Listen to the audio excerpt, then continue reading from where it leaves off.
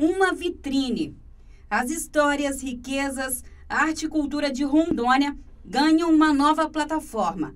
A revista Biribá chega para levar o Estado ao mundo inteiro. Uma revista de moda e cultura em Rondônia e uma revista que tem como objetivo é, valorizar os artistas da região, difundir o trabalho que essas pessoas estão fazendo é, e ser um, um meio de informação, né? Com uma linguagem interativa e exaltando arte e artistas locais, a primeira edição já traz figuras marcantes de Rondônia. É uma revista importante que vai ser distribuída em algumas escolas públicas, é, bibliotecas e instituições. Então, é importante também como uma forma de estímulo e também de abrir os horizontes dessa galera que ainda está na escola, que vai ter contato com esse trabalho e a nossa ideia é que as pessoas vejam a potência que a gente tem criativa na região. Para nossa capa, a gente convidou a líder indígena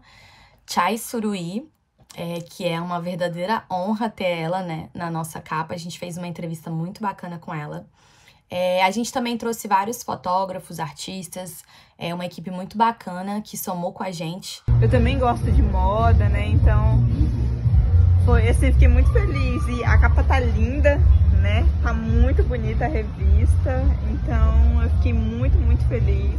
Né? Eu convido todos a verem a revista porque ficou muito legal mesmo.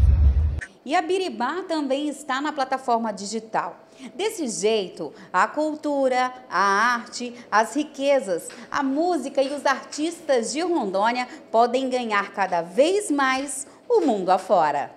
Isadora Copanax é a produtora de moda da revista Biribá e conta sobre como é participar desse projeto. Participar desse projeto lindo que é a revista Biribá é a realização de um grande sonho para mim e para muitos profissionais que tiveram a oportunidade de trabalhar comigo nessa primeira edição da revista, tá podendo levar a nossa cultura através da nossa arte, da nossa fotografia e principalmente da moda.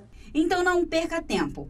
Basta acessar www revistabiribá.com.br e espalhar nossa cultura, moda, música e arte rondoniense.